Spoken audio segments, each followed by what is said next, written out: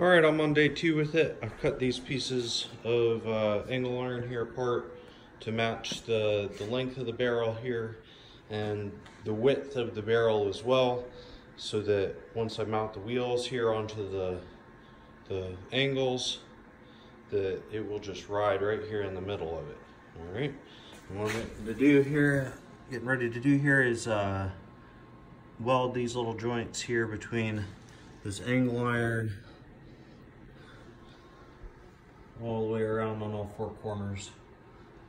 And once I get all done with that, then we'll put some legs on it and get these wheels on it and get this thing rolling. We got the frame mostly together here. I ran out of welding wire, so I'm stuck with no wheels right now.